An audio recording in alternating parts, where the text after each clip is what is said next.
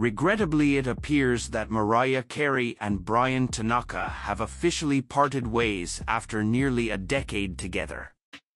The choreographer confirmed the breakup on December 26 in a detailed statement shared on Instagram.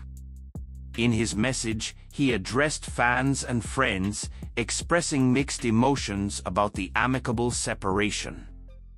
Bryan acknowledged the mutual decision to take different paths and emphasized navigating these separate journeys with deep respect and gratitude for the seven extraordinary years they spent together.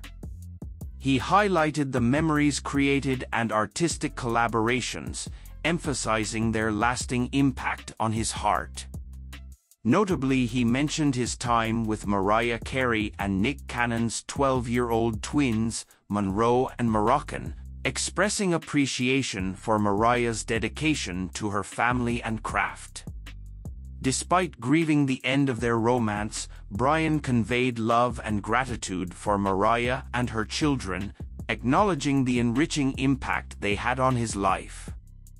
Looking ahead, Bryan expressed optimism about the future and the unfolding chapters of his journey.